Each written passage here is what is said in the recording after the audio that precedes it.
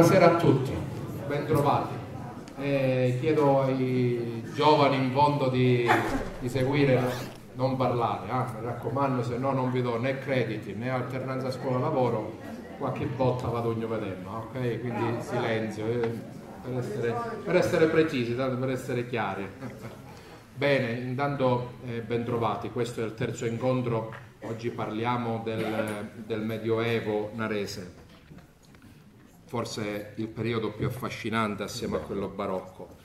Eh, oggi il professore Novella eh, ci spiegherà questa fase storica eh, in modo, in modo eh, molto esaustivo. E eh, conciso. E conciso soprattutto, mi, mi sottolinea conciso, quindi eh, prima di andare avanti vi chiedo anche una cosa, vi, vi, dico anche una cosa, se volete a fine, a fine incontro Qua alla mia sinistra c'è un plastico delle catacombe di Naro, c'è stato attualmente donato da Gero Aronica e Luigi Mendola che hanno fatto circa vent'anni fa una tesi di laurea su un progetto di valorizzazione del, della zona delle necropoli e qui volendo potete passare e guardare. E ribadisco anche che ancora c'è la possibilità di iscriversi e i fogli sono fuori il prossimo, eh, poi un'altra cosa, soprattutto per i ragazzi, a, mm, a quelli che interessano i crediti formativi e l'alternanza scuola-lavoro, eh, all'uscita troverete questo foglio dove, potete, dove dovete firmare la presenza al corso, perché se non firmate questa presenza non possiamo rilasciare né uno e neanche l'altra cosa per una questione di, di, di, di correttezza le iscrizioni sono ancora aperte, il prossimo incontro, io cerco di andare veloce proprio per dare più spazio al professore Novella, il prossimo incontro, venerdì prossimo, parleremo della Naro barocca con il pressore verde. E... Due notizie, una, una notizia, dal prossimo sabato abbiamo fatto un sondaggio, noi contemplativi, dal prossimo sabato di pomeriggio, cioè intorno alle ore 16.30, 16, 16.30, abbiamo pensato di organizzare una serie di proiezioni di film, un cinematografo, ma non con film moderni, eh, con film attuali, con i film di una volta, quelli che piacciono ai nostri nonni, ma anche a noi, eh, stile Ursus, eh, Ercole, John Wayne, queste cose.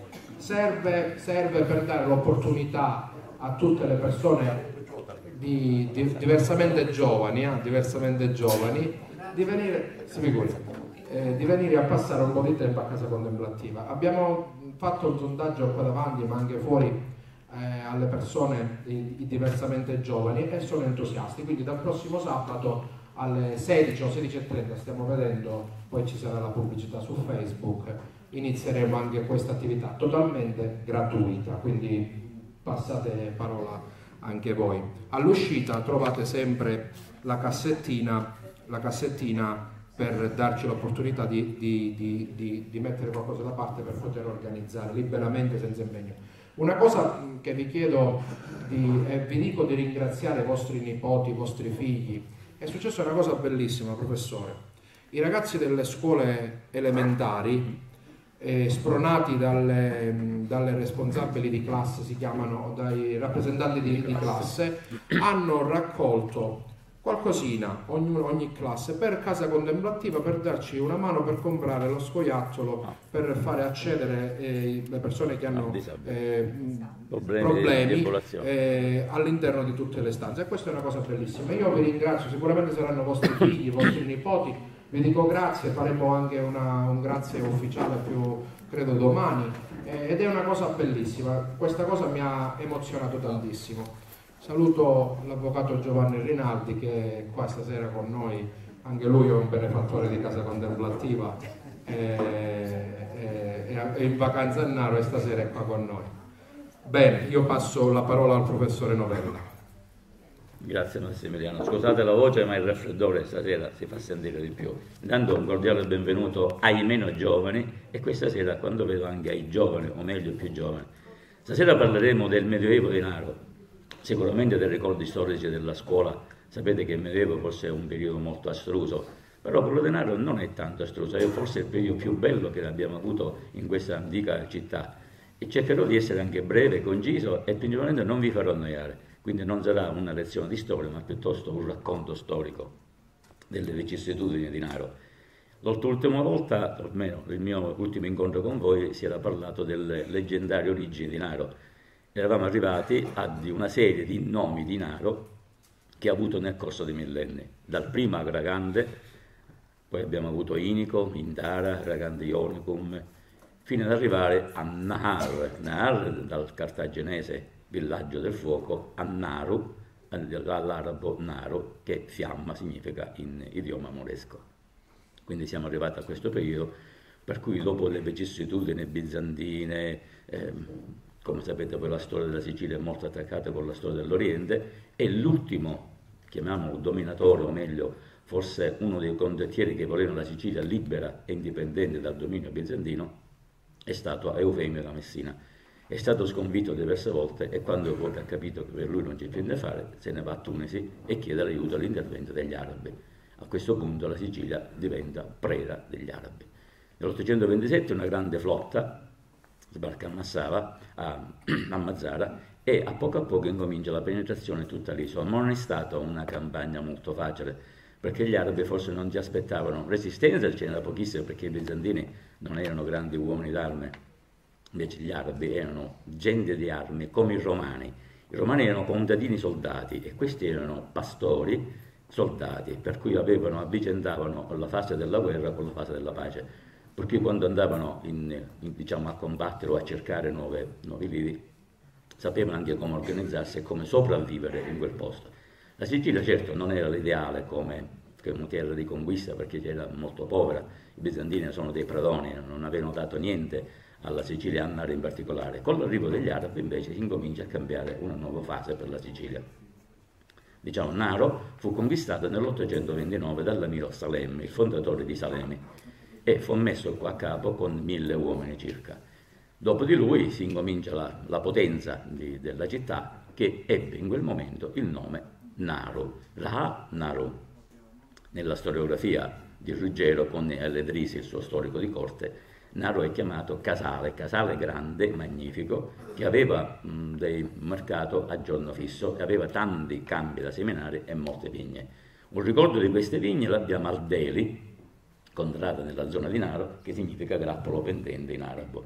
Per cui gli arabi, oltre ad aver portato una nuova ideologia, perché per la prima volta forse l'uomo, o meglio l'essere umano, era considerato essere umano, non animale, come era considerato prima, perché fino ai bizantini quando passavano da un signore all'altro andavano gli animali, le case e gli uomini, i servi come animali, quindi neanche erano come persone. Con gli arabi invece si incomincia a capire che l'uomo ha una sua funzione, magari aveva un'altra fede, però pagavano per poter professare la religione cristiana, però erano considerati uomini.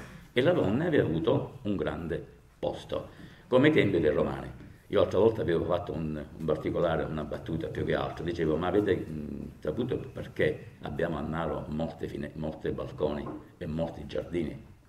Se voi vi fate notare, in via Piave c'è un bellissimo giardino vicino alla chiesa e con un giardino con delle mura molto alte, non c'erano degli inverriati ma c'erano mura, perché evidentemente quella doveva essere la casa di qualche emiro o di qualche personaggio importante arabo in cui con quel giardino la moglie poteva prendere il sole secondo il modo naturale, per cui non c'era l'occhio indiscreto del vicino.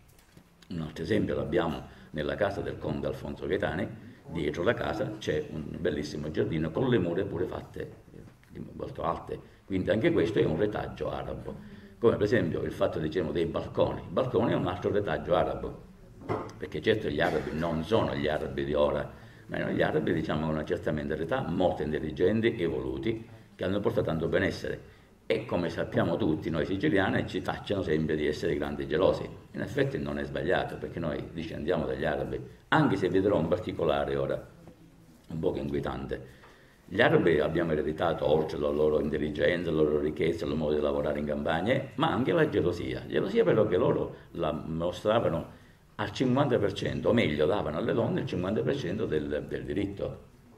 Le donne certo erano sempre accompagnate da una, da una diciamo, da un'angella, da qualche anziano di casa, per cui erano, si sentivano un pochino diciamo, osservate e costrette al, a un comportamento molto retto, volevano più libertà. Allora l'arabo, certo, in quei tempi parlare di libertà non era facile, specialmente di libertà della donna.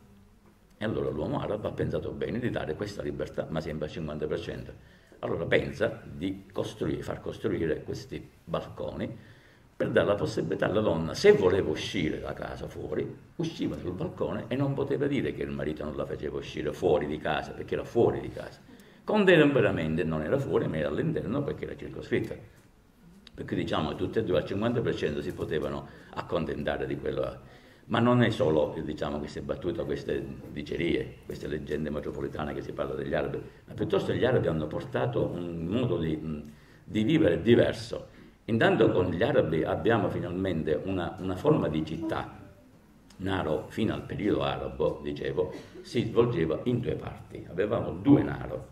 Una Naron, Naron viene da Nao, scorrere, scorrere, scorrente, nella zona di Favarelli e un'altra Nar, villaggio delle fiamme, nella parte alta.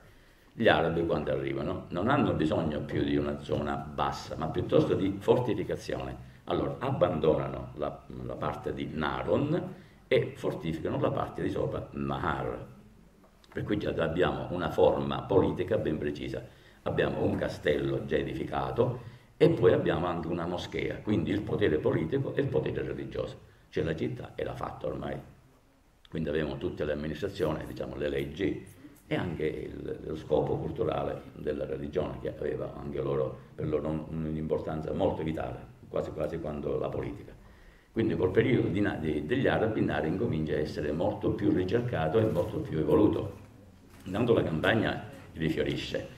Sono quelli che hanno inventato le gebbie, cioè la raccolta delle acque durante il periodo invernale per poterlo utilizzare durante il periodo estivo per la siccità e poi per portare l'acqua alle gebbie hanno inventato le famose saie. Quando diciamo un'altra saia è un nome arabo, non, è, non l'abbiamo inventata noi. Per cui hanno fatto tutte queste cose di grandi lavori idraulici. Oltre a questo hanno portato gli agrumi, hanno portato la coltivazione del bacco della seta, il cotone e tante altre cose. Quindi non si limitavano solo ad uno, un'occupazione militare, ma anche a uno sviluppo diciamo, commerciale e economico. Naro ha avuto diversi comandanti, o meglio diversi diciamo, emiri, ma più che emiri erano dei signorotti locali, perché voi sapete che poi l'impero arabo si è membrato in tanti piccoli stati e in lotta tra di loro. Per cui in un certo periodo la Sicilia fu tutta araba, preso compreso Palermo, però riuscivano a convivere, si, si chiamano i siciliani, sicilioti, abbiamo i greci, gli arabi e altre persone diciamo, che, erano, che abitavano già. Quindi c'era una grande, una grande idea di cosmopolita esattamente. Quindi la Sicilia diventò già un centro importante al centro del Mediterraneo. Quindi aveva sempre quel ruolo di sviluppo culturale, religioso e sociale che ha avuto da sempre, perché essendo al centro del Mediterraneo era meta di tante persone, di tanti popoli.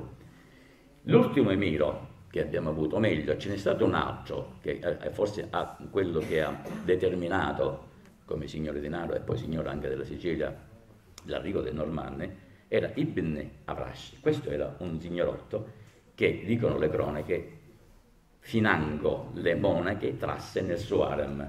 Quindi considerate che tipo era. Invece un altro era Ibn, questo Ibn significa signore, Timna è stato l'ultimo arabo signore che si è opposto a questo qua e non potendo più riuscire a mantenere il proprio governo, sbarca in Calabria e chiede l'intervento dei normanni. Ecco perché i normanni arrivano in Sicilia. Come sono arrivati gli arabi chiamati da un siciliano, i normanni sono arrivati chiamati da un arabo. Cioè tutto Ciccio Prodomosugo, insomma, ecco, che aveva bisogno chiamava gli altri. I normanni chi erano?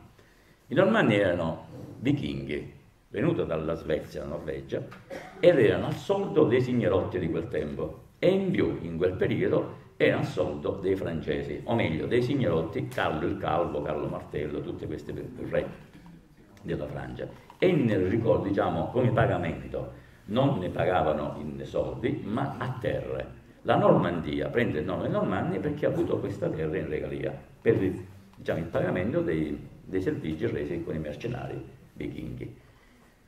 Dopo questo periodo, diciamo che sapete benissimo che un cavaliere a quei tempi basta avere un cavallo, una spada, la lancia e uno scudo, era un cavaliere, quindi era un personaggio importantissimo, però per mantenere questo bisogna avere un po' di paziente, perché queste qua che erano predone del deserto, predone del, dei mari, avevano fatto un'organizzazione, non erano più dei soldati singoli, ma avevano formato proprio un esercito con un capo, quindi diventò la Normandia il primo stato ufficiale dei normanni per cui tutti chiedevano l'aiuto di questi mercenari, compreso anche il Papa.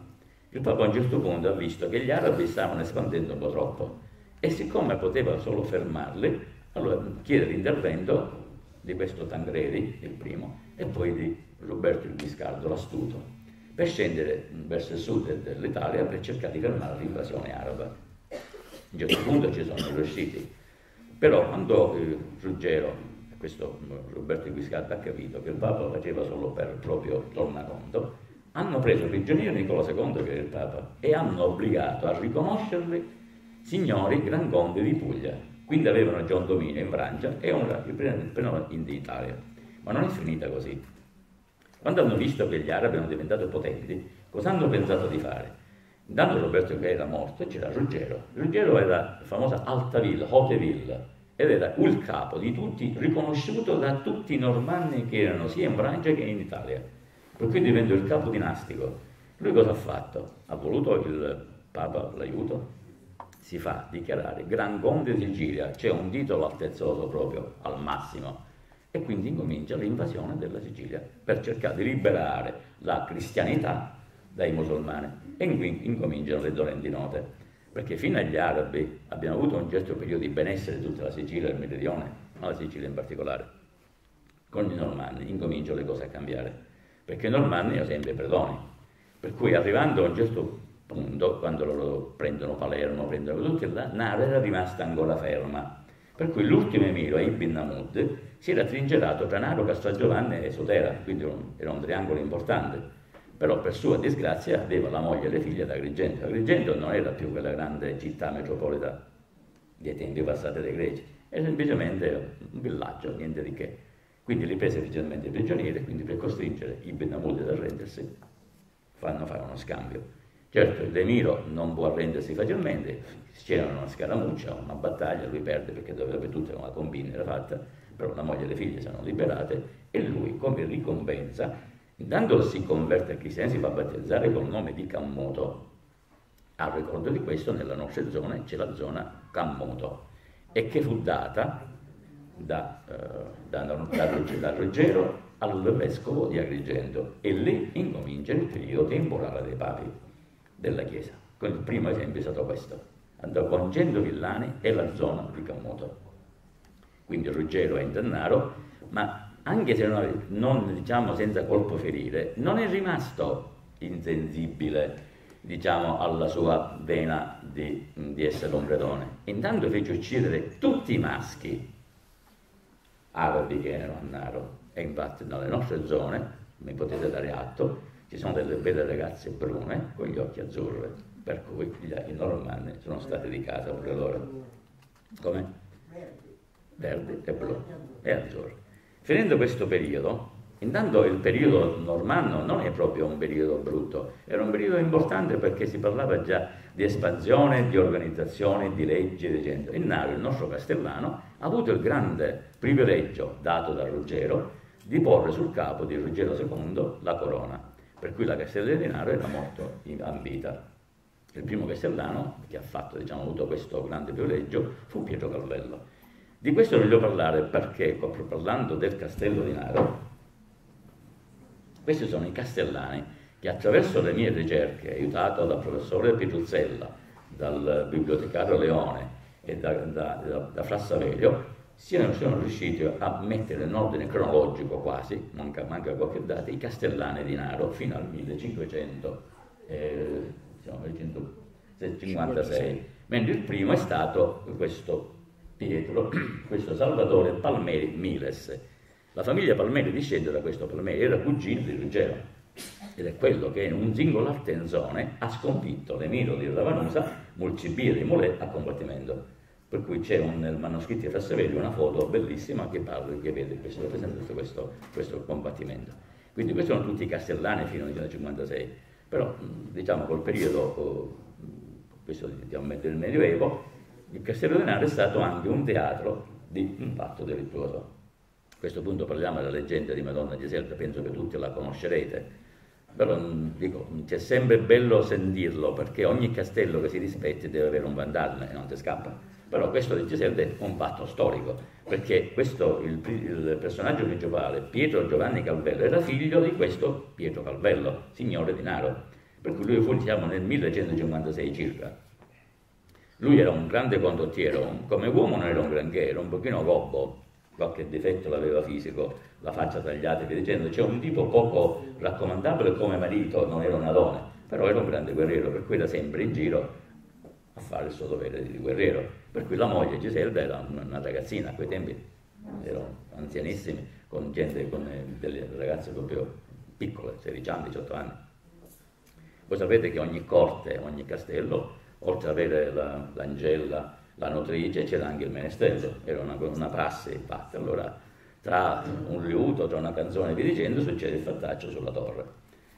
Per cui lui viene avvertito sicuramente da qualche angella traditrice ritorna nottetempo, sorprende i due amanti, uccide lui una pugnalata lo butta giù dal castello, dalla torre, e la richiude in quella stanza che è stata ritrovata durante il periodo i lavori di restauro del castello. Si dice che sia morta di fame e di dolore e nelle notti di ottobre, siamo in questo periodo, nelle notti di luna c'è un bianco, castello, un bianco fantasma che si aggira sui merli del castello e Madonna Giselda che va alla ricerca dell'amato Bertrando si dice anche, ma la dice diciamo, la, la, tradizione popolare, che si sente un suono, un canto di uccello sul merlo. Quindi evidentemente Bertrando ritorna a cantare ancora una volta per la sua amata. Certo, è una leggenda facilmente smontabile, perché voi sapete benissimo a quei tempi, diciamo 30-40 anni fa, lavatrice non ce n'era, asciugatutto non ce n'era neanche. Quindi la gente metteva i panni per stendere. Magari un colpo di vento avrà preso qualche lenzuolo, qualche fede sarà andato da quelle parti sulle mele, quindi c'è il fantasma, ma però tutto può succedere. D'altronde hanno fatto molti servizi sui fantasmi, di cui esistono. Quindi è sempre bello sentire che c'è un, un fantasma. Dopo il periodo, diciamo, del periodo normanno, arriviamo al periodo forse più importante per Naro, al periodo dei Chiaramonte. I Chiaramonti chi erano? I Chiaramonti venivano da Clermont, della Piccardia, ed erano pure normanni, ed erano pure dei signorotti al servizio di chi avesse bisogno. Quando scendono qua in, in Sicilia, diventano così siciliani da interpretare la, la, il senso di libertà, di indipendenza dalla corona spagnola. In quei tempi a Naro coesistevano due fazioni, qua in Sicilia, la fazione catalana, ed erano i Moncada, i Valguarnera e gli Alagona. I Moncada, attualmente quelli di Agrigento, discendono da loro, Invece c'è la fazione latina, e nei Chiaramonte, i Palizzi, i Ventimiglia, il Grande Ammiraglio, i De Castelletti e i Migliaccio, gli attuali Milazzo. C'è questi alcuni nomi. Per cui queste due fazioni si combattevano per il dominio dell'isola. Però dobbiamo dire una cosa, a Naro sono coesistiti per parecchio tempo due personaggi importanti. Andrea Chiaramonte, per un certo periodo, e Manfredi è stato il massimo, e Blasco Lagona. Blasco Ladona si dice che sia nato nell'attuale nel palazzo del conte Gaetani, là c'è la, il palazzo della famiglia Lagona. Invece che Chiaramonte avevano il loro castello, però coincidevano due, quindi spagnoli, però tutti e due avevano un sogno, quello di rendere indipendente Sicilia dalla corona spagnola. E una prova di questa è successo dopo la morte del re Martino, del re Federico III. Federico lascia una, una, una bambina, una ragazzina di 16 anni, l'infante Maria, che è come tutore Blasco Ladona. Però Blasco aveva altri programmi, altre cose, aveva pensato di farla sposare a Giangaleazzo di Milano, in modo da poter staccare la Sicilia dalla Spagna. Tutti e due facevano la stessa idea, sia Chiaramonte che però con risultati diversi. Ma non è stato così, perché i Moncada, nonostante facessero parte di questo patto federale, hanno rapito Biancamaria, si trovava ad Augusta, e l'hanno portata a Licata per poterla imbarcare e poterla sposare lui stesso. Ma come questo incomincia a essere difficile, che succede? Che i Manfredi, Chiaramonte e Andare Chiaramonte, a Naro Andanda c'erano sei porte nella città, lo vedremo, di cui l'ultima che fu fatta, la famosa Porta Nuova o Porta Ricata, nell'attuale incrocio con la Via Lande. Di là è stata aperta per far uscire truppe che andavano verso Ricata per andare a liberare la Levante Maria. A 9 km di Ricata, nella zona sconfitta, c'è questo grande scontro tra le truppe, diciamo, chiaramontane e le truppe ricatesi, chiamiamole così, catalane, che perdono. E da quel momento, se voi ricordate bene, è nato un, un epiteto, così dice Licatisi Babbe, per questo motivo. Se c'è qualcuno delle carte, chiedo bene, ma dicono così. Non è colpa nostra. Non è colpa nostra, è colpa di Chiaramonte. Eh, eh, quindi perfetto, hai visto? Di conseguenza però, mh, dopo che hanno visto questi combattimenti, Mongala prende parte da Licata con la nave e la porta in Spagna. In Spagna non può approdare subito perché c'è la peste, dirotta verso la Sardegna, dopodiché ritorna in Spagna e si sposa con Martino il Giovane, che poi è venuto a Naro in un seguito, al secondo tempo. Quindi con, eh, con queste lotte, finalmente nel 1366 c'è questa famosa pace di Casa Giovanni e la signoria di Naro viene affidata in perpetuo, dice i documenti, alla famiglia Chiaramonte. Ma non è finita così, perché Re Martino il vecchio, il papà di Re Martino, ha visto che il potere di Chiaramonte era immenso. Loro avevano fatto uno Stato dentro lo Stato. Il potere di Chiaramonte andava da Casteltermini fino a Modica e Ragusa, quindi era un triangolo nell'interno della Sicilia, quindi uno Stato dentro lo Stato. E questo non era per loro giusto. Una serie di combattimenti, una serie di guerre, finché si arriva all'ultimo, che era Monte Andrea. Andrea Chiaramonte era il più giovane della casata, e si era trincerato nel suo palazzo, il famoso Steri, Osterium, il palazzo fortificato. Si fa un accordo con Martino il Vecchio, si dice che fanno un accordo diciamo stabile per la divisione della Sicilia, ma non fu così. Appena lui esce dal suo palazzo fortificato viene preso, dichiarato e condannato per fellonia, cioè per alto tradimento, viene decapitato davanti al suo palazzo, lo Steri, nello stesso punto a Piazza Marina dove fu ucciso il famoso tenente Petrosino, Gio Petrosino la fatalità della cosa. Parlando della Sicilia, della, eh, di queste famiglie, perché c'è un certo accostamento? Notate per esempio che la Sicilia è sempre stata terra di conquista, da sempre, però c'è stato un momento in cui questa conquista si stava cambiando. Andiamo al periodo di Giulio Cesare, era chiamata la Sicilia granaio oh, di Roma e quindi era molto importante per, la, per Roma, per il suo sostentamento. Giulio Cesare aveva mandato addirittura Cicerone qua in Sicilia a visitare la Sicilia per vedere com'era. Cicerone aveva fatto una bella relazione, per cui era sul punto di dare questa, eh, diciamo come socio, eh, forse, come socio della Sicilia, invece lo uccidono e questo finisce. I Chiaramonti, che avevano combattuto per cento anni per la libertà della Sicilia, anche l'ultimo fu ammazzato L'ultimo di tempo è stato, tra virgolette, il bandito Giuliano, per cui chiunque si fosse messo in testa di liberare Sicilia, libera dal gioco di qualsiasi potenza, conviene che non lo fa più. Ma stare sotto e basta. Fa tutta la stessa fine. E torniamo un pochino indietro, che non vi voglio annoiare, eh, andiamo uh, alle opere più importanti fatte in questo periodo. Intanto con il periodo di Ruggero e dei Normanni e dei Chiaramonti il castello viene fortificato diventa veramente un mese di guerra e dobbiamo dire che se non ci fosse stato il castello Naro non avrebbe potuto resistere perché prima è stato il castello poi tutto il resto. Un castello che serviva per, come opera di importante sia militarmente sia anche di difesa. Perché di difesa? Perché ho detto l'altra volta nell'altro incontro che lo stemma di Naro porta tre torri con le fiamme. Perché nella, diciamo, i cartagenesi avevano inventato questo diciamo, mezzo di, soccor- di, soccorso, di segnalazione con le torri, per cui Naro sia dal periodo cartaginese fino al 1600 con i, i barbari che arrivavano in Sicilia, famosi i saragini, e faceva parte di questo circuito di segnalazione. Per cui Naro era molto importante anche da questo punto di vista, mh, diciamo, strategico. Dopo il periodo con l'ultimo di Chiaramonte, Naro ha avuto un periodo un pochino brutto perché era stato condannato, perché Naro cioè, Naro ha diviso fama e gloria con i Chiaramonti, ma anche la distruzione. Tanto è vero che avevano in odio al, alla famiglia Chiaramonte, se tu metti lo stemma, sì. voi vedete che al centro c'è lo stemma aragonese vicino al castello, però se voi vedete sulla destra e qualcosa c'era, lo stemma chiaramontano che è stato tolto all'arte perché bisognava dimenticare sia il nome sia tutto.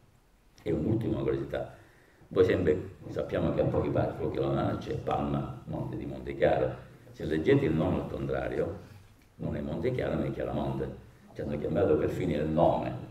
Ad una città talmente in odio, questo nome che rappresentò la lotta dell'indipendenza del Cile per più di cento anni. Ma non ha avuto solo il privilegio o l'ardire di dare un nome a un secolo, ma anche hanno dato un nome a un movimento artistico, l'arte chiaramontana, che a Naro si è diciamo, concentrata su, in tre punti ben precisi. Nel castello, all'ingresso della stanza del principe, proprio all'ingresso davanti la sala dei baroni, ecco vedete, lo stilo zighizanghe, le palmette, i capitelli e il, il simbolo della vigna e virgulti, perché la prosperità, la potenza e la ricchezza. Il stesso motivo viene portato poi a Santa Caterina e ancora nel Duomo. Il Duomo, diciamo, perché ha dimenticato una cosa, talmente erano potenti questi, questi chiaramonte che nell'osterio di Palermo hanno fatto affrescare le sale dal famoso pittore Cicco Danaro, Pindore Dinaro, lui firma. E alcune tracce di queste l'abbiamo in Galdono al castello, nella cappella personale. Se prendi quel, il castello ti preparo. Sì, sì. Sì, perfetto. C'è l'Agnus Dei.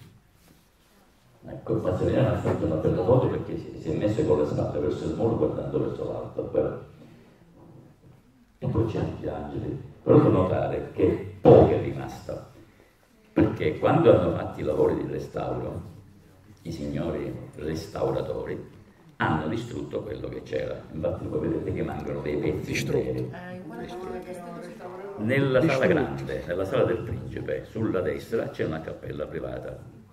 E non solo questo proprio, ma molti anni fa, quando il castello diventò carcere fondamentale, siamo negli anni 60, le bifore del castello, se tu a prendere, eh, ecco, questa è un'altra cosa. Ecco, queste bifore che voi vedete sono false, non sono del 1600, è volgare in marmo di cimitero, perché nel periodo che, che diventò caccia mandamentale hanno fatto dei lavori occulti per cui se ne sono andati. Sono rimasti solo i nomi dei carcerati, un certo Francesco d'Avena, si legge bene, abitatore della fedelissima città di Palermo, rinchiuso in questo vecchio castello. E poi un'altra cosa importante, se voi vi ricordate nella stanza del principe, entrando sulla sinistra, c'è un, diciamo, una, una, feritoia, una feritoia dove mh, mm, si pensa che doveva servire per difendersi. Nel periodo dell'Inquisizione invece non è servita, serviva come prigione. Per, mettevano dei prigionieri per far vomitare i delitti occulti cioè lui, il prigioniero, non poteva stare dentro disteso, ma doveva stare rannicchiato, murato davanti, quindi o confessava colpe che non aveva, o sarebbe morto lì dentro. Per cui questa era la nostra. Durante il lavoro di restauro poi dobbiamo dire che hanno trovato sia la stanza di Madonna Giselta, sia anche la stanza della prigione borbonica, con dei letti in, in muratura, in gesso, e vedete che il capezzale è tutto in gesto e poi sulla sinistra c'è anche il gabinetto. Ecco, questi sono i letti, sono due letti con i capezzali in... E questo qua, se voi ricordate bene, prima del lavoro di restauro era tutto pieno di terra, fino alla finestra che era chiusa. Poi è stato scavato ed è venuta alla luce questa prigione borbonica. Molte cose sono state eh, scavate, trovate, ma non dato molta importanza. Un'altra cosa che voglio dire, c'è al centro c'è una cisterna. Prima dei lavori di restauro c'era la famosa pila per lavare, perché i carcerati, sia maschi che donne, erano quelle mandamentali, quelle che dovevano fare un anno di prigione, per cui avevano molta libertà, e andavano a lavare i panni là. È scomparsa pure questa, una pila volgare, niente di che. Ma la cosa importante è che quella cisterna non era una cisterna nel periodo uh, del carcere eh, dell'Inquisizione, era una prigione di punizione. E nel fondo c'era disegnato un gioco cosiddetta marretta. Marretta sarebbe il gioco siciliano della dama che si giocava nei sassolini. e tante altre cose che bisognava portare. Eh. E poi vedete un'altra cosa, questa torre, dove avete visto la sala del principe, fu costruita nel 1330 da Federico, da Federico III, quando soggiornò a Naro. Intanto è soggiornato prima nel 1624 in occasione di questo grande, grande eh, matrimonio dell'epoca di suo figlio che sposava Cesarea Lancia. Dimenticavo una cosa, ma mi sono ricordato ora, il perché di Naro fu chiamata Fulgentissima. Avete sentito parlare, quando si parla Naro Fulgentissima c'è una canzone. Beh, il fatto di Fulgentissima sono diverse correnti di pensiero. Una, intanto l'ha, definita questo aperitivo Federico II, il famoso Stupermonte, ma perché ha dato proprio questo nome a Naro? Palermo Fidelis, felicissima, Catania raddotta, Enna invicta, Naro invece fulgentissimo. Certo, in quel periodo Naro aveva come ospite, e come veramente più ospite era come signorotto, la famiglia Lancia, Pietro Lancia. Pietro Lancia, più che Pietro Lancia, era Bonifacio Lancia. Bonifacio Lancia sempre venendo dalla Scandinavia, veniva di parente di Ruggero, quindi non, non svevo. Però aveva una, cosa, aveva una figlia bellissima, bianca. Federico II era un uomo di mondo, ha avuto tre mogli, meglio quattro, e la vedovanza, la vedovanza della seconda con la terza moglie ha conosciuto Bianca. Lui ha avuto la scalogna di non avere un figlio, ma Bianca ci ha dato il famoso figlio maschio a evitare l'impero, Manfredi, per cui ha dato il, il no, l'epiteto, eh, l'appello di Fulgentissima, non solo a Naro, ma l'ha dato alla moglie, che poi diventò moglie la quarta moglie. Quindi Federico era di casa qua. Ecco perché tanti monasteri, tante case, perché qui c'era la seconda corte, quella non ufficiale. Quella ufficiale era Palermo, quella ufficiale era a Naro. Per cui Naro ecco perché era importante. Importante per questo. Poi un'altra cosa, a parte l'arte, la cultura, avete fatto mai caso venendo da Agrigento al tramonto, il sole si riflette come brilla, sempre la città di Eldorado, perché quel tipo di tufo giallino splende come il sole. Ecco perché fu bellissimo, fuoco, ignis, e si vede anche da lontano. Quindi Naro ha avuto questo epiteto rispetto a tutte le altre, ha avuto sempre un modo particolare nella storia, perché è vero che nei libri di storia Naro si parla poco, però se la leggiamo tra rigo e rigo, Naro è ben inserita nella storia, perché fa parte della storia, perché i personaggi che hanno fatto la storia della Sicilia nel primo medioevo erano personaggi che venivano da Naro, che avevano a che fare con Naro, quindi Naro non era una città, dai, appunto, dico un nome su una carta geografica, era proprio una città importante e tale è rimasta, diciamo fino all'epoca quasi borbonica, dico, mm, ora ci arriviamo il fatto di quasi borbonica, perché nel fondo noi abbiamo avuto 13 dominazioni in Sicilia, non una, 13. Cominciamo dai Sicani, andiamo poi ai Greci, Cartaginesi, Romani, Vandali, Goti, eh, Arabi, Normanni, poi abbiamo avuto anche i Borboni e in ultimo i Piemontesi, sono stata una dominazione pure, quindi non possiamo dire. Come? No, no, tutti, tutti, dico, li ho saltati, 13 in tutto, gli angioini più che francesi. Degli angioini, infatti stiamo parlando ora. Quando si parla di vespi siciliani, non è solo Palermo, perché anche Naro ha partecipato ai vespi siciliani. E infatti, se voi vedete in quel elenco di governatori c'è Francesco Piano 1282. Infatti a Naro il primo aprile 1182 c'è la rivolta dei francesi vespi siciliani, tre, tre, giorni dopo quello di Palermo. Quattro con l'uno. Chi dice 29, chi dice 30. 30, 31 è 1, chi dice invece 29, 30, 31 è 1, quindi è quarto giorno, ma dipende. Molti dicono, fra Saverio dice dal 29, altri dicono dal 30, però un giorno più, un giorno meno.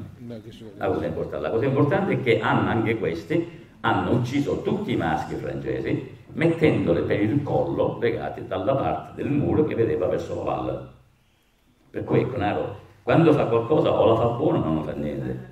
Cioè o ammazza tutti oppure non subisce. Quindi è un poco strano queste cose quando succedono le cose a Naro.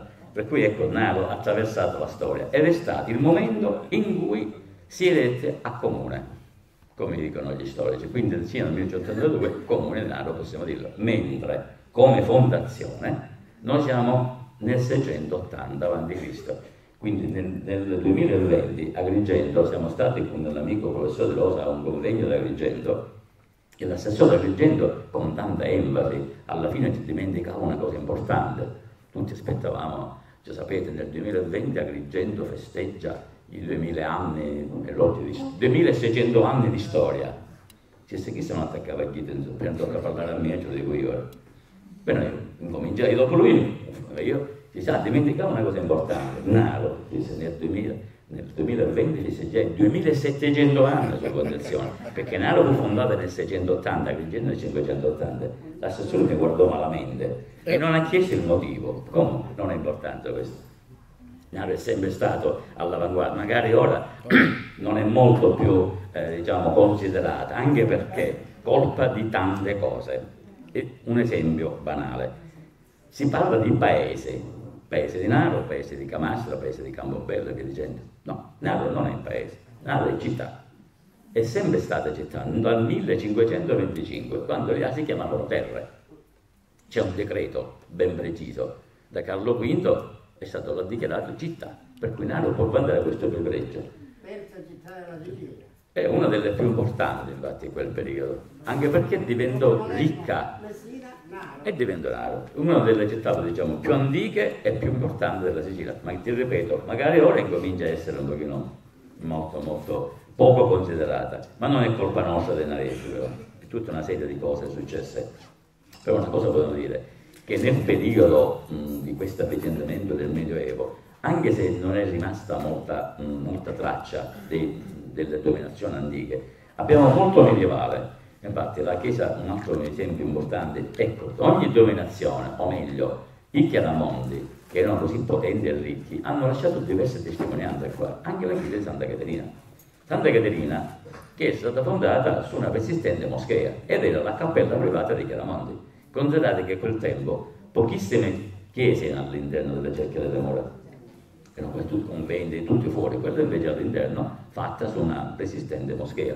Santa che è importante, ma non solo per, perché era diventata la cappella, ma perché Santa Caterina era il simbolo dell'arte, pure assieme al castello, dell'arte eh, chiaramontana, ma non solo chiaramontana, perché in, quel, in quella chiesa hanno convissuto e lavorato due entità, gli arabi e i siciliani, che nella loro unione hanno ritrovato il verso il gusto del bello. Infatti la chiesa nicotina è veramente un gioiello medievale, uno dei pochi rimasti. Se vi ricordate, molti anni fa è venuto a Nari il sindaco di Valenciennes, Normandia, quando c'è la famosa guerra del vino. Sindaco a quel tempo era Giuseppe Terranova, ex impiegato di banca, mio compagno di scuola. Quando è venuto, è venuto ad Agrigento, ha voluto venire a Naro per vedere la chiesa dei suoi padri. Agrigento non ne aveva. E non immaginate quale scompussolamento ci ha portato nella, nel, nel, nel, programma di visita, perché è dovuto venire a Naro non sapendo quello che poteva trovare o meno. E quando è venuto a Naro è rimasto veramente colpito perché ha trovato tracce della sua gente, della sua, sua Normandia. Quindi non era solo importante diciamo, dal punto di vista eh, culturale, ma anche dal punto di vista affettivo. Una chiesa di Santa Caterina che certamente non è più i fasti del passato, ha poche opere ormai all'interno. Se togliamo la, la pietà di Giuliano Mancino, se togliamo il fonte battesimale, la, la, Madonna di Giorgio da Milano e quel crocifisso che c'è in fondo, non è rimasto molto. È rimasto ancora un pochino di tracce di quel famoso cecco danaro dell'Osteria di Palermo. Questo è un pochino assurda la cosa, perché?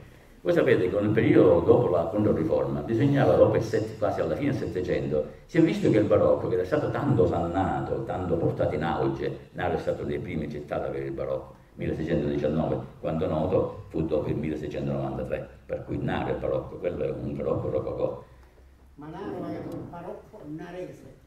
Detto da Cesare Brandi. No, non è solo barocco narese, ha influssi perché il nostro padre Milazzo, il fratello, era a Roma superiore, per cui mandava, mandava qua tutti i frati francescani che tornavano dal Messico, infatti molti si ispirano alle, alle chiese messicane. Quindi c'era questo gusto del barocco qua perché c'era il padre che pagava tutto. Per cui dicevo, il fatto del, eh, di ritornare al, al neoclassicismo c'era prete il preposto Teibo. Questo preposto Teibo è stato preso da tale, eh, diciamo, un fervore così cristiano, di rinnovamento, di ritornare agli origini, quindi ortodosso, che ha fatto cancellare tutte le, le, le dipinti di Francesco. Perché? Sapete perché? Perché erano vestiti alla greca c'erano nude, per cui per lui è diventato già un segno bruttissimo andato in chiesa, perché ha cancellato tutto. E nel suo fervore di, di ortodossia, chiamiamolo così, si è fatto seppellire nel primo gradino dell'altare. C'è una cosa assurda. Però dicevo, tornando un pochino a, alle opere, le opere sono quasi andate perse o disperse, ci sono delle opere che non appartengono sicuramente alla Chiesa.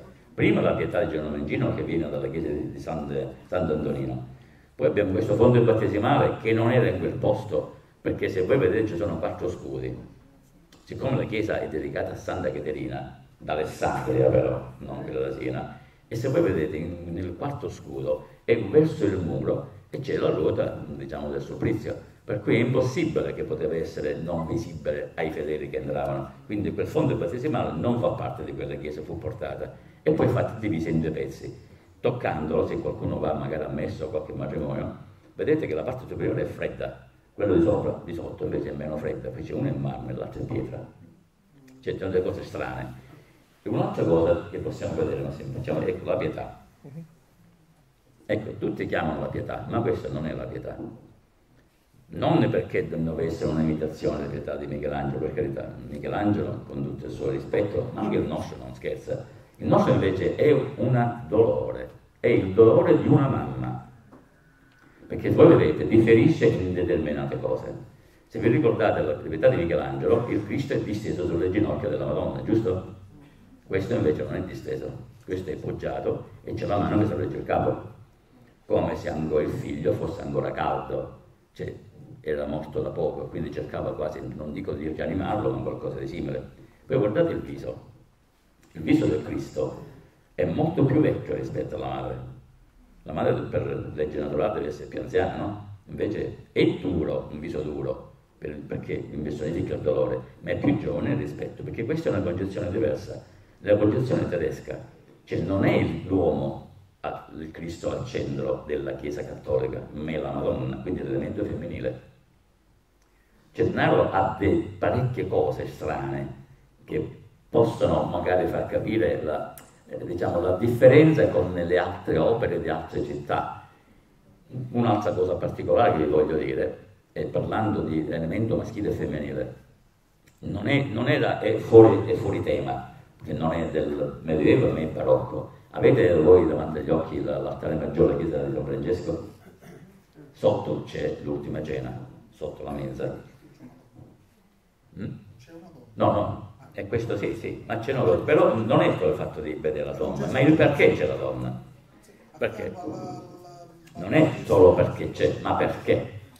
Considerate che quando Leonardo ha dipinto l'ultima cena, siamo nel 1498 se non sbaglio, a Milano.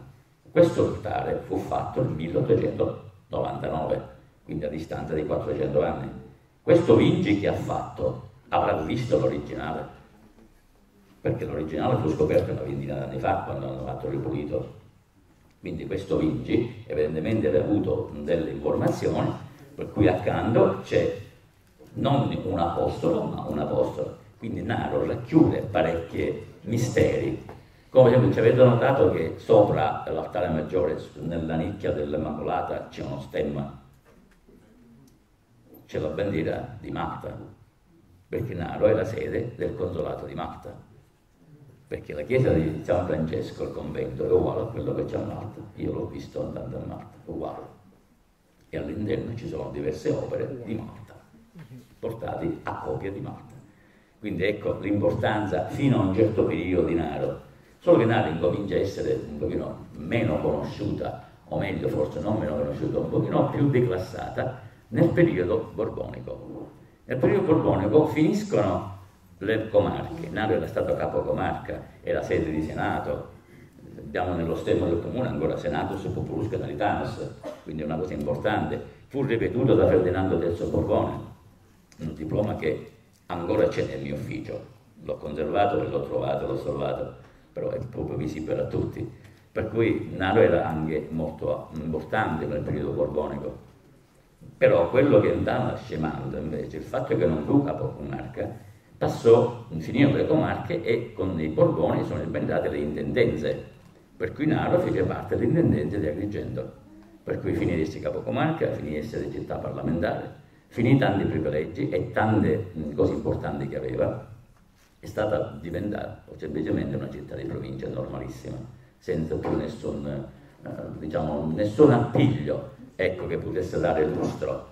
L'unico lustro che ha avuto da questo governo piemontese, chiamiamolo così, è stato di avere il primo senatore d'Italia, ma questo non ci ha dato nessuna, nessuna importanza, anzi ci hanno portato ad essere una città normale, infatti da quel momento noi non abbiamo avuto più nessun, ma lui sono di vittime più ancora, e più va, più scuro si fa, come si dice. Ora, come? Ma sai, eh, il fatto che noi cerchiamo sempre di, di, portare avanti i discorsi, di cambiare, di cercare di portare in Naro, non dico lo splendore di prima, però siamo sempre sotto il tallone di tante situazioni economiche, senza lavoro, giovani che se ne vanno, si hanno diviso come famiglia dei propri figli, cioè Naro non è più come prima, ecco, Naro è solo nostalgia, è sempre una città di leggenda, questo è pure vero, una città che affascina, la storia, la storia è scolpita nei suoi monumenti, nelle sue strade, però è rimasto un passato, un passato che potremmo far rifiorire, ricordare e tramandare. Ma tutto non, non, è solo che lo possono fare solo i cittadini di Naro con la buona volontà, ma anche le amministrazioni che si succederanno, ci sono succedute possono fare qualcosa. Se loro non si muovono, resterà semplicemente storia scritta. Noi cercheremo di scrivere qualche, qualche rigo di qualche pagina di storia di Naro, ma certo non sarà più la fulgentissima di prima. Comunque c'è un fatto, Naro risorgerà sempre come l'Aurea Fenice, come diceva Fra Saverio, ritiro delle sue, delle sue ceneri e Naro risorgerà sempre, avendo altri nomi, altre occasioni, un'altra città. Speriamo che sia così. Grazie dell'attenzione. Siamo arrivati? Benissimo, se c'è qualcuno che vuole fare qualche domanda al professore Novella, eh, questa che vedete sull'immagine, eh, prima che finisce a batteria, eh, lo dice il professore. Sì, sì. Forse questo voi non l'avete mai visto. Allora, si trova nel Duomo Normanno. Intanto il Duomo Normanno è 59,60 m per 9,50 è un capolavoro che hanno fatto. Ruggero ha fatto qualcosa di importante veramente, anche se ha combinato altre tesserie. C'erano all'interno dei bassorilievi, uno era vicino alla, alla sacrestia, che i preti chiamavano la moschea, perché là c'era la moschea, e questo invece si trova all'ingresso della, diciamo, della cappella che ha fatto Martino il giovane, ed è l'Annunciazione. Questo non sono riuscito a portarla via, se voi notate è stata già prescolpita, tirata, ma c'è del periodo che un pezzo si è tolto ed è rimasto solo questo. Due cose non ci perdoniamo a chi ha fatto i lavori. Primo di non controllare bene quello che hanno rubato secondo questo che non l'hanno conservato, e terza, per vedere quell'altro. Accanto c'è la chiesa di Sant'Antonino, vi ricordate tutti? In questa chiesa, che era tutta piena, completamente piena, e diventò ovile, poi è stata ripulita in certo modo, c'erano due cose importanti.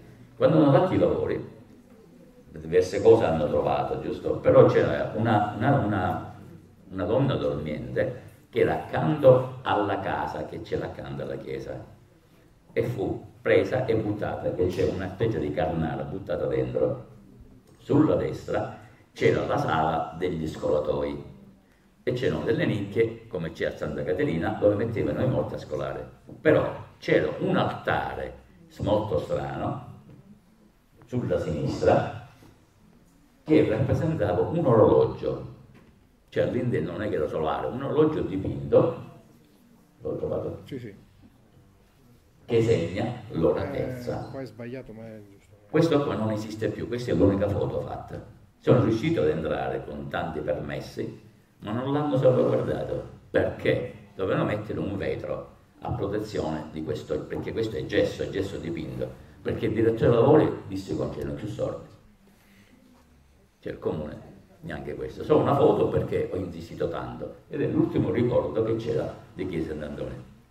Ecco, bastavano poche cose, pochi accorgimenti per avere Naro un qualcosa di importante, come abbiamo preso una grande occasione per i giganti. Hanno trovato i morti con le teste grandi che sembravano pallona, però con tutto ciò nessuno si è interessato, o meglio, io l'ho saputo a distanza di tempo, ormai chissà dove sono andate a fine queste cose. era la prova che Naro fu abitato o costruito dai giganti. Quindi i giganti, come dice la Genesi, erano veri, esistevano, quindi potevano anche essere a Naro perché la storia, la leggenda non è sempre leggenda, ma un buon fondamento di storia ci deve essere per forza. Grazie ancora. Se c'è qualche domanda, siamo ancora nel, nell'ora. Qua, questa, oggi abbiamo rispettato alla ah, grande. Ah, sono stato proprio, proprio... Professore, stasera aveva bisogno un po' di Gatorade, signore, un po' di Gatorade per stancare. Per ampliare questo ragionamento, eh, per quanto riguarda la presenza, o meglio la venuta di Andalighieri, quindi come centro e un'altra cosa che a me è piaciuta, me l'hai detto tu, quindi eh, per ripetere, professor Produtti, per quanto riguarda Santa Caterina, le statue che erano dipinte per essere diciamo, più eh, rappresentate per essere altre. Quindi sì. è una cosa molto particolare che non è solo umana. No, no, è un'altra cosa ancora, sì. la data della, della pietà, della dolore. Dolore, io la chiamo dolore. Mi sembra... L'ha detto il professore Creni, che non l'ho detto io. Eh. Mi sembra sia antecedente a quello che è la data del, eh, della pietà di Michelangelo. Michelangelo. E noi siamo stati un pochino... Quindi non è una copia... No, no, no, no, è una cosa diversa, infatti. È diversa, infatti. È diversa. È diversa.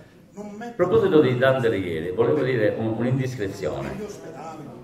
Quello dell'ospedale era importante perché quello delicato dipendeva sempre con l'altro passo di Naro, però Naro non ha neanche la scritta, perché poi hanno tolto la scritta ospedale, non capisco il perché.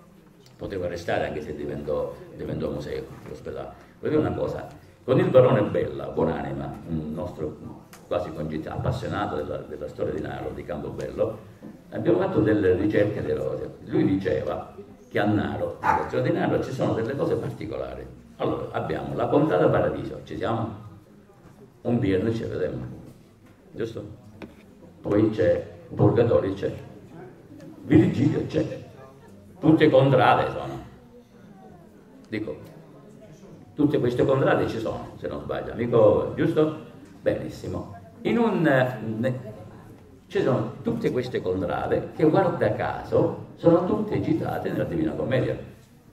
A coronamento di questo, nella corte giuratoria di Palermo, sarebbe nei tribunali antichi, negli uffici del registro antichissimi, c'è una donazione di una signora di Naro, non più donne, che dice una donazione Ilu, sostentamento di Ludande. Ora se Dante, girando, peregrinando per le corte Federico, dicendo si è arrivato anche a Naro, tutto questo succede perché tutte queste contrade non per caso sono sorte, perché sono molto precise, cioè la coincidenza coincide, quindi un'indiscrezione così. Solo poi il barone Bella purtroppo non c'è più di noi e non si è continuato alle ricerche via dicendo. Prego, signor Fonzo sono anche le prove della venuta di Sì, però mh, mm, ormai non... Dati cioè, in che senso? Ah sì, sì, certo, sì, sì, c'erano, nel primo Federico c'erano 2000 persone, questo non lo ricordo perfettamente, e 18.000 abitanti nel periodo che c'è stato il colera Naro, nel 1575, 18.000 abitanti, ne sono morti 12.000, sono rimaste 6.000. Questi sono dati dall'Istituto eh, Storico di Nara, eh. non, eh, non, lo dico io. Nel 1921, è eh, una cosa che ho pubblicato io la settimana scorsa su Facebook, i dati Istat dicevano che a Naro c'erano 21.000 abitanti, il, il, tetto il, massimo, tetto eh, massimo sì, nel 1921. 21.000.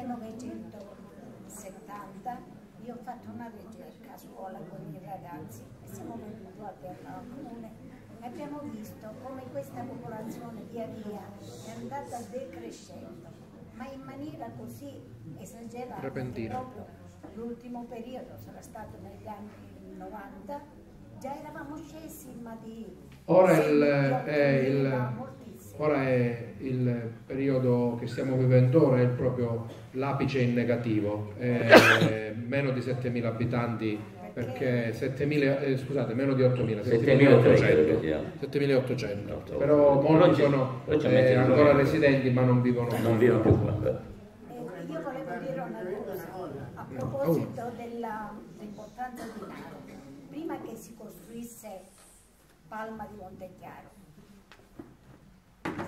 cioè i monasteri importanti di Palma di Montechiaro, furono andati, ho un libro antichissimo di mio suocero, ma è pubblicato nel 1600, è un libro antico, non so chi gliel'ha regalato. E si dice che queste monache, prima di andare a Palma per fondare questi monasteri, si fermarono a Naro per avere rifugio eh, per trovarli per poter affrontare un viaggio per loro lunghissimo. A Badia, infatti, sono le carisse c'erano, infatti. Sì, eh, ma non erano nel, non so in quale monastero, diceva che si sono fermati a Naro, fermati a Naro per potersi rifugiarsi per ospitalità e poter affrontare quel viaggio a dorso di asino certo. da Naro a Palma di Montechiara. Quando faremo l'ultima lezione con me parleremo di un, un vatterello di questi viaggi che facevano dei, dei conventi tra un convento e un altro, sarà una cosa molto simpatica. Una cosa sicuramente da,